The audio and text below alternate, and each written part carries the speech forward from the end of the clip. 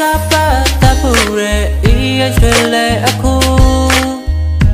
အားလုံးမေးလိုက်တော့မယ်တေတော့ပြန်လွမ်းမှုမိဘတိုင်းဝိုင်းမြစွာနောက်ဆက်နေလဲမမှုဘဝတစ်ချိန်ရတဲ့သူဘယ်ကမှ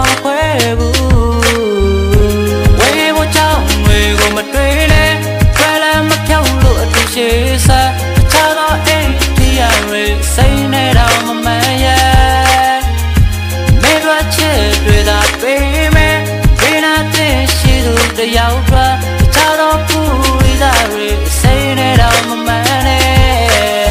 စပင်းနဲ့ပြူတော့ကြိုးတဲ့ဒီဆိုင်ရချက်နေမှာ